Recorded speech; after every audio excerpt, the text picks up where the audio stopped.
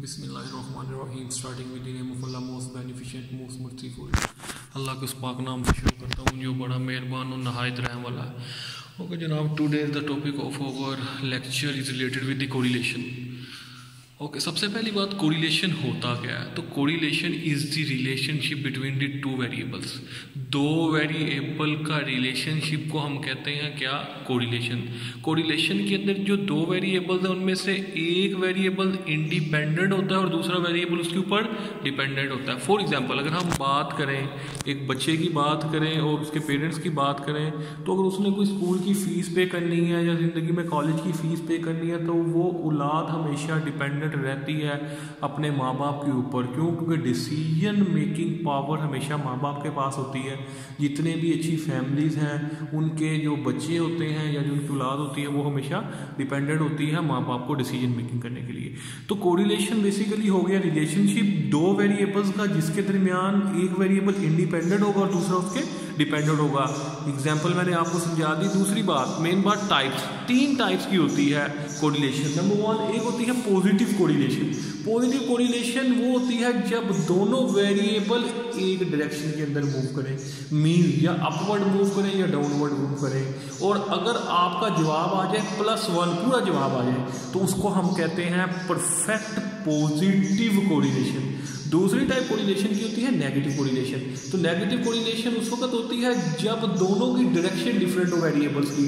For example एक move करे upward और एक मूव करे डाउनवर्ड या एक डाउनवर्ड दूसरा अपवर्ड उसको हम कहते हैं कि ये कौन सी कोरिलेशन है?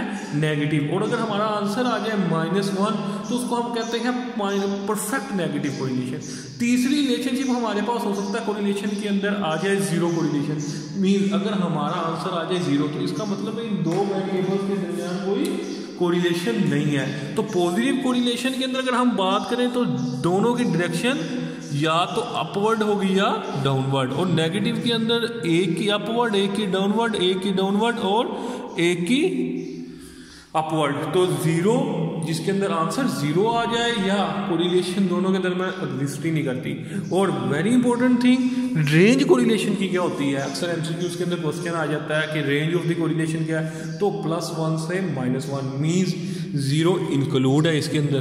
तो माइनस वन से लेकर प्लस वन तक या प्लस वन से लेकर माइनस वन तक कोई भी आंसर आ जाए तो इसका मतलब है आपका जवाब कोरिलेशन का ठीक है।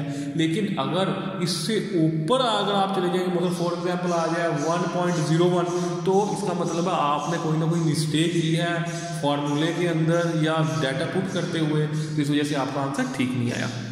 अब चलते हैं फार्मूले के। कोरिलेशन के बहुत ज़्यादा फार्मूले आपको मिलेंगे, लेकिन वन ऑफ़ द सिंपलेस्ट जो फार्मूला है कोरिलेशन का वो ये है. N summation X Y summation N कहते हैं नंबर ऑफ़ ऑब्जर्वेशन को समीशन कहते हैं सम को.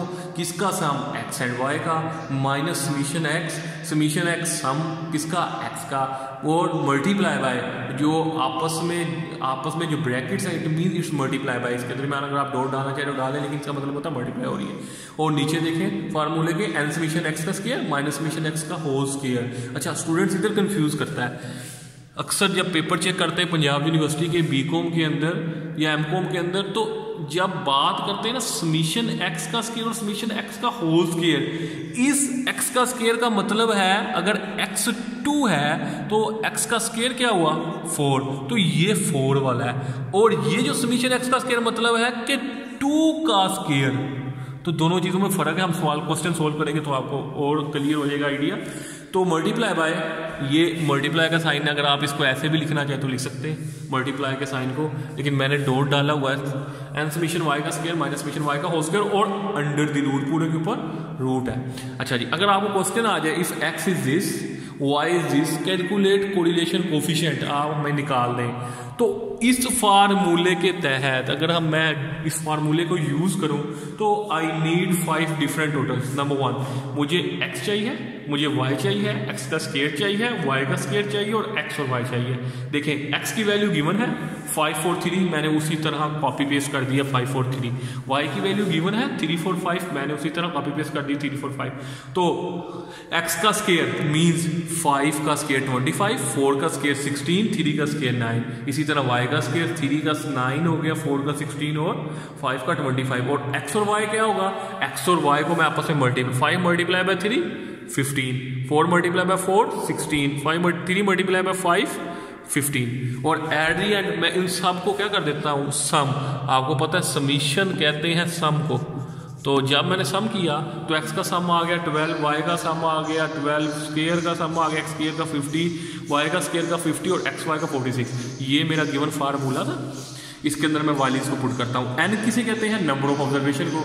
एक्स की कितनी वैल्यू गिवन है? थ्री वाई की कितनी गिवन है? थ्री तो थ्री होगी नंबर ऑफ़ ऑब्जर्वेशन तो एक्स वाई क्या आया आपके पास? फोर्टी सिक्स मैंने इसके ऊपर लिख दिया forty six minus summation X summation X twelve था। समीशन वाई भी ट्वेल्व था। तो ट्वेल्व मल्टीप्लाई बाई ट्वेल्व और उसके बाद एन थ्री और मल्टीप्लाई बाय समीशन एक्स का स्केयर एक्स का स्केयर फिफ्टी था। तो मैंने उसको मल्टीप्लाई कर दिया। अच्छा अब यहाँ से मिस्टेक होती है। देखिएगा एन था थ्री मल्टीप्लाई बाय एक्स का स्केयर ये निकला है फिफ्टी तो मैंने फिफ्टी लगा दिया वैसे ही। अब आगे आ गया माइनस समीशन एक्स का whole square it means summation X twelve है ट्वेल्व का लेना है होल स्केयर यहाँ से मिस्टेक नहीं करनी। ओके उसके बाद नेक्स्ट चलते हैं एन समीशन वाई का स्केयर वाई का स्केयर कितना था? 50 तो मैंने एन मल्टीप्लाई बाय 50 लिख दिया माइनस स्मीशन y का होल स्केयर तो अब 12 का होल स्केयर आ रहा है स्मीशन y का. Y का स्केयर का होल स्केयर नहीं ले लेना. स्मीशन y का होल स्केयर तो 12 का स्केयर आपने लेना है. उसके बाद आपने इसको सोल्व करते जाना है तरीके के साथ. तो हमारे पास आंसर आ जाएगा माइनस वन तो माइनस वन क्या कहता है? परफेक्ट नेगेटिव कोरिलेशन अगर मैंने इस क्वेश्चन को सोल्व किया तो परफेक्ट नेगेटिव कोरिलेशन आई. क्योंकि डाटा फाइव फोर थ्री था, फिर मैंने उल्ट कर दिया थ्री फोर फाइव तो लाजमी बात है. कि जब डाटा आउट होगा तो जवाब हमेशा माइनस वन ही आना था। तो देख लीजिएगा रेंज मैंने, मैं पहले बताई थी कि क्या हुआ कि रेंज हमारी होनी चाहिए प्लस वन से माइनस वन तो हमारी रेंज क्या आई? माइनस वन इट मीन हमारा आंसर ठीक है। और ये परफेक्ट नेगेटिव कोरिलेशन है। Hope you will understand the basic concept of correlation अब आपको कोई मसला नहीं आएगा समझने का, लेकिन अगर आपको कोई मसला आया तो you can contact me thank you very much